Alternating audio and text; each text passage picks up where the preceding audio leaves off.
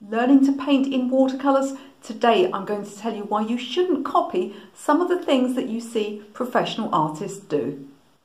Welcome back to my channel. If you are new here, my name is Michele and on this channel you'll find all things watercolour as well as painting, drawing, tuition, even a little bit of mixed media, business and motivation for artists too. Please do consider subscribing. If you click the bell icon you can get notified every time I have a new video for you. Make at least one free video here a week on a Thursday with extra content for Patreon subscribers. Now, whenever you're trying to learn something in life, learn a new skill, it's very tempting to watch professionals do it and to think that you must copy exactly what they do. Now, of course, it's very good to learn from professional people, so that's not what we're talking about in this video. But it can be a mistake sometimes to try and copy exactly what they do if you're not at that stage yet. And I'm going to fess up, I got the idea for this video from watching a sewing video. I've been uh, back into my sewing recently dressmaking, that sort of things. And I was watching a lady and she did, um, you know, things that professional sewists, they call them, I don't call them dressmakers anymore, call them sewists, things professional sewists do that you shouldn't copy. And as she went through the video, it made so much sense to me. And I thought this is totally translatable. And I started thinking about all the things that you might see your favourite YouTubers or your favourite artists do on the internet or in a magazine that you probably shouldn't copy if you're at a beginner stage. And sometimes they're things that you shouldn't copy at all. Also going to talk about things that can be a little bit misleading on the internet in terms of editing cuts. So it's very easy for there to be, you know, an eight hour gap in a video, you know, in the filming schedule of the person that's making the video. And yet for you, it runs on second to second. So we're going to talk about that as well. And I've got eight things today that if you see professional artists do, you want to think twice about copying. So the first thing you may see professional artists do that I encourage you not to do, and that's painting without drawing. Now at the very beginning of your painting drawing you're going to need a little bit of structure on your paper you're going to need some drawing skills you're going to need to put something down now, how much you put onto the paper in terms of drawing is really uh, dependent on the subject that you're doing. If you were doing something, you know, really complex like a building with steps and, you know, a garden outside, trees, all of that, you might need to put quite a lot of information onto your paper. However, if you're doing something really simple, perhaps, you know, a landscape with a flat horizon and a single river flowing into the distance, perhaps all you need to draw is a single line for the horizon and a river. Not only is it going to be helpful when you put your paint down, but it's also going to give you an insight into whether or not the composition is going to work. Because if the drawing's not looking great, don't go ahead with the painting. You want to change your drawing first. Now, when you watch people uh, online and they're painting without drawing, don't forget that they probably have been painting and drawing for decades. They probably have some really good drawing skills and painting is just drawing with a brush. So they're able to go straight in. Another thing is they may be being you know, a bit disingenuous. They may have done this subject before. They may have done it lots of times before. Or there may actually be marks on the paper that you can't see or they may be using some kind of projection system. So I do advise, at least at the beginning of your painting journey, that you don't go straight in with the paintbrush just because you see somebody else do it. Now, the next thing you might be inclined to copy is when you see a professional artist, you know, taking a new colour into their painting or perhaps taking a new technique into their painting and they just go ahead straight away and put it on the paper. Doubtless they've done it countless times before or perhaps they're very good at colour mixing. Now, when I teach actual real life painting classes, and grabs things from the desk, here we are, I put loads of these on the centre of the table. These are just offcuts of watercolour paper. I stretch all my paper onto board so I always have you know bits left down the side and I always have these scraps of paper and I still use these when I'm painting today and I do two things with them. Now I might try a technique with them and if you're trying something new, you know, if the artist you're copying is doing some salt technique or, you know, doing something with watercolour pencils or something, particularly something that you haven't seen before, for goodness sake, don't go straight onto your painting and do that. You've no idea how it's going to look. The artist you're copying probably has a different style of working to you. They're probably more used to the materials. They may even be using different paper and different paint pigments to you and those things make a big difference to how the technique is going to look. The same with colour mixing. Now, if the artist mixes a colour and uh, particularly if you are using different colours yourself or even a different brand of paints, you may get a different result. And don't forget the watercolours dry up to 50% lighter than when you apply them. So not only should you swatch that colour on a scrap of paper first, try out that technique first, you should also let it dry. A lot of techniques, particularly things like salt, can take, you know, a long while before they reach their sort of their finished effect. And the same with colours, they can dry a lot lighter. So if you haven't used a colour before, you haven't done a mix before, you haven't done a technique, I want you just to slow down, work it out on a scrap of paper. If you think it looks okay, let it dry and then place it on your painting, you know, near where it's going to go and decide if you're happy with it. If you're not happy with it, go and practice a little bit more. Try a different colour mix before you place it on your paper. I'm amazed when I see so many people mix up a colour. You know, when I'm teaching classes, they mix up a colour and they will, I don't know, I wasn't sure if this was the right colour, so I shoved it on my painting. For goodness sake, just slow yourselves down. Try things out on a scrap of paper before you commit to your paintings. You're going to have a lot more success and get much better results by doing this. The third thing I don't want you to copy professional artists in doing, and this is painting watercolours on an easel. Now, some artists will do this because it's easier for filming. You get a few artists who do actually work in this way, and if they're doing something like botanical work, not using a lot of water, perhaps they get away with this. They may have come in from other mediums and be completely used to sort of painting and drawing up right now. If you must, if it's important to you, and if you find that you get a better result, you can draw on an easel with your paper upwards, but I guarantee that you'll get a much better result with your paper flat on the table. Watercolour is hard enough. Water levels are really, really important when you're mixing watercolours and putting extra colours on the paper. Uneven water levels are the things that will cause you the most difficulty and the last thing you need into that mix is gravity. Now I have seen both sides of this coin because in my previous life before COVID I was going out to lots of art clubs and doing evening demonstrations and they would put a camera or projector on me. Sometimes I would work flat and they would have a projector above my head which um, causes its own issues but more often than not they would ask me to work on an easel and I would have subjects that I would choose that were fairly loose, things like seascapes that I could just about cope with painting on an easel. But I can tell you, even with the level of controls that I've got over watercolours, it's never easy to paint on an easel, especially not if you're doing something like a big sky, a big landscapes, the paint is going to run down. Now there is a school of thought that says you should have a slight angle to your board. It helps a wash to travel down the paper. This is true, but you've still got that bead of paint at the bottom there that you have to deal with. So you can experiment yourself whether you like your board at a very slight angle or whether you like your board flat. Yes, it can cause neck issues. I work on a uh, very high table, so I'm not bending forwards too much, I take regular breaks. But if you see somebody painting watercolours on an easel, trust me, you don't want to copy that, especially not when you're a beginner. It's going to make everything so much more difficult.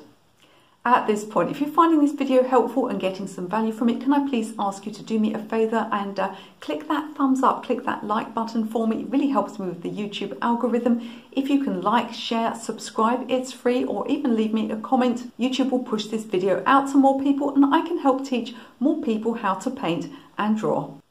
So the next thing you shouldn't try to copy is loose painting. And oh my goodness, this drives me crazy. This one, I see so many people sort of in complete beginners say, oh, I want a loose painting tutorial. You know, where do I, how do I learn to paint loosely? You don't learn to paint loosely. It's the end of the journey, not the beginning. It's like learning, people say, okay, how can I learn to paint abstract? You don't learn to paint abstract. Abstraction is a process that you may or may not reach after many years and decades of learning to paint. And you can't throw yourself straight into loose painting. It just doesn't work that way. You should just concentrate on working from what you see when you start out.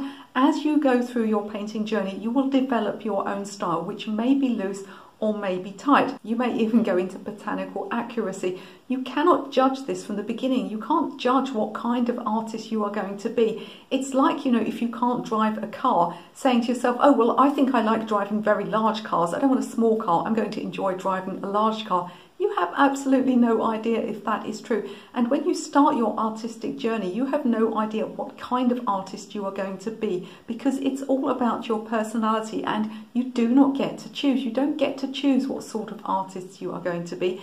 And if you try to choose, if you try to force a style, if you try to copy other people, then all that's going to happen is you're going to end up being a poor imitation of that other artist or of that other style. The way that you find your best artistic style is just to follow your heart. Sounds really hippie, doesn't it? But you really just need to explore your own way of working and your style will find you. You can't just skip all those individual stages of learning to draw, of learning to paint accurately, of learning to understand things. If you look at any of these, you know, if you look at cubists, if you look at abstract painters, they didn't start there. They started on representational work and they progressed to that point naturally. You need to progress to the sort of artist that you're going to be naturally. You can't just jump in and paint loosely because you think either it's an attractive style or it appeals to you because you think, well, that seems to be easier than painting more accurately. It just doesn't work that way. I don't advise you ever to seek out loose painting tutorials unless you naturally have started to paint that way. Of course, you can learn something from every artist, you can learn something from every tutorial, but do not at the beginning of your painting journey try to skip all of these steps. Don't try to force a style on yourself and don't seek out loose painting just because you think it looks really nice.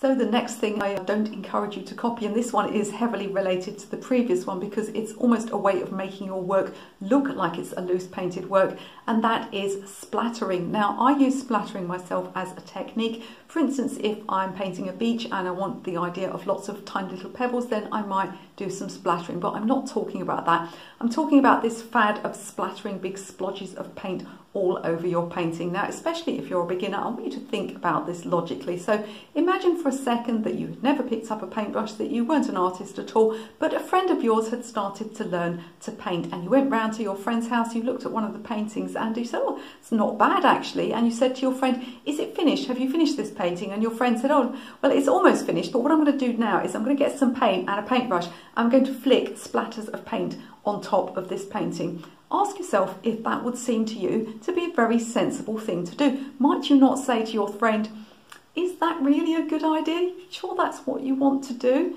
And your friend will probably say, well, I, I, saw some professional artists do it. So just calm down a bit with the splattering, especially if you're a beginner. Now, splattering, and I've seen these techniques, you know, done quite well, but the problem is it's become a fad. It's become something that everybody copies, usually quite badly. And if you are a complete beginner, the likelihood of you getting a good result from this, if you don't really know why you're doing it, you're just copying someone you've seen online, is not high. So if you've done quite a reasonable painting and you're thinking now about getting a paintbrush and dripping loads of paint on top or splattering loads of paint on top, maybe just stop for a minute, have a cup of tea and think about whether you actually want to do this. So the next technique that you might not want to copy or the next thing you might not want to copy is dipping a dirty paintbrush into, into clean paints on your palette. Spoken more about this in a recent video which is how to make brighter colours.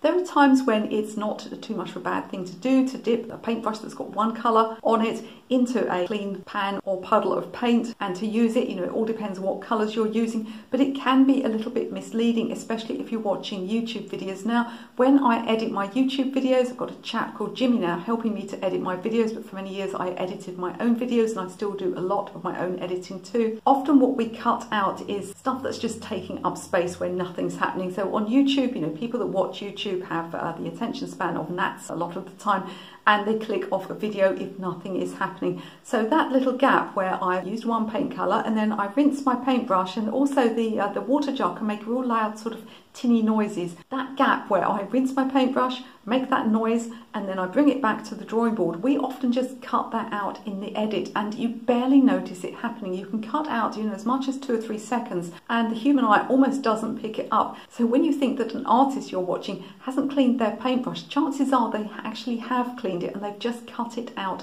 in the edit. There are also times when going between certain colours when it's really disastrous not to clean your brush. So as I said, have a look at that other video and that'll help you because, you know, we are human beings. We can't clean our paintbrush every time we place it on our palette, but there are times when it's a good idea and times when it's a bad idea. So just be a little bit careful when you're copying artists doing this and be aware that you may just be missing a few seconds footage in the edit. So the next thing that you shouldn't copy is when artists just go directly from one area of wet paint and start painting next to it. Now again, this is one that is very, very commonly cut out in a video edit.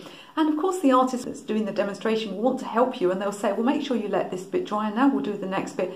And you know, it's barely a second. It may have taken them two or three hours to let this dry, and it's actually something that professional artists do all the time is to let their work dry. Now, I have filmed videos for Patreon and things like this where I've been working on my own paintings, and you know, it's literally a whole weekend, and yet when they see the video clip, it almost runs straight on. And as much as the artist will say, make sure this bit is completely dry, in your head you might be thinking oh you're five or ten minutes that's okay but actually it can take much much longer. So just be very very aware. You know it's this water levels thing. Again if you're painting wet paint next to a damp area it's going to bleed right into that area. So be very careful when copying professional artists. If they don't appear to wait very long between areas most professional watercolorists know that there are times when you have to wait several hours for a piece of paper to get bone dry before you paint next to it. So it's just something else to be aware of so the next thing that you shouldn't copy is going from the start to the finish of your painting without stopping. This again can be something that's very deceptive on videos. It can also be something that you pick up if you go to, you know, a two hour painting class. There can be this real feeling of, you know,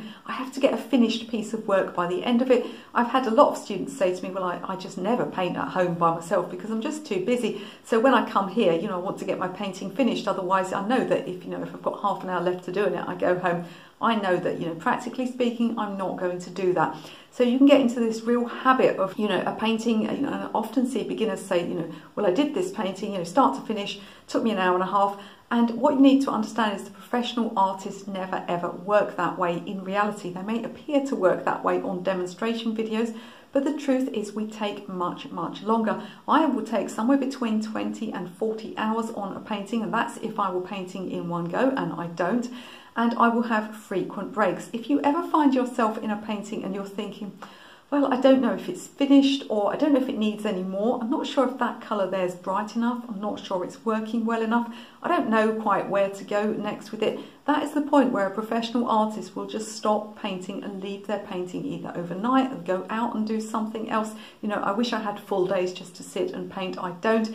So it's very easy for me to make these breaks. But if you are perhaps retired and you have a free afternoon, it's very tempting just to push on and push on and push on until you finish that painting. And often you get to the end of it, you're not entirely happy with it.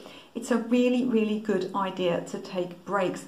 It will help you to see where things are wrong as well because you can just get far too close to a painting. You lose the ability to see the tonal contrast, you lose the ability to see the whole painting. It's like if you were making a patchwork quilt and you spend all your time joining these little pieces. At some point you've got to step back and look at that quilt and see, is it working overall? Does it look good from a distance? And it's not just a matter of viewing it from a distance. Having that break from it will help you to see it afresh.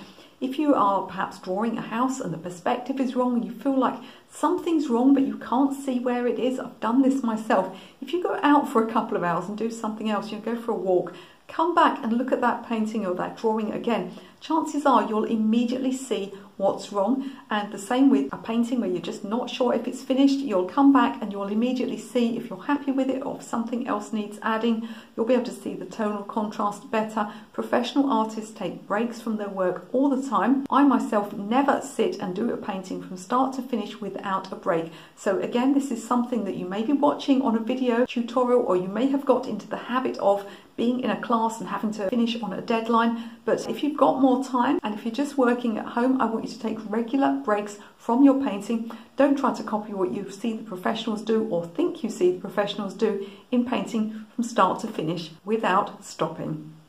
So you'll notice at this point my hairstyle has changed. That's because I had to take a short break in filming. Do let me know in the comments if you enjoyed this video and what you agree with and disagree with when it comes to the things I've spoken about. It's fine to disagree, but don't be a troll. It's not Harry Potter. Now, before you leave this video, don't forget to pop into the video description. I've got lots of free stuff for you there. I've got free downloadable PDFs, even a free watercolour mini course that you can take for no money whatsoever. And if you enjoyed this video, I think you'll enjoy the video that I made about using deliberate practice in order to improve your speed of learning really, really fast. You can watch that video right now.